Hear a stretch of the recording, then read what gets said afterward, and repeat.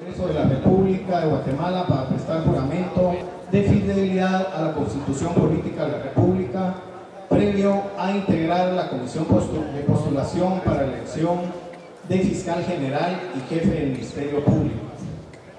Le solicito levantar la mano derecha para proceder con el juramento respectivo. Jura cumplir con patriotismo, responsabilidad y poder de decisión el cargo de integrantes de la Comisión de Postulación para la elección de Fiscal General y Jefe del Ministerio Público, velar y defender el orden constitucional, pueden bajar su mano.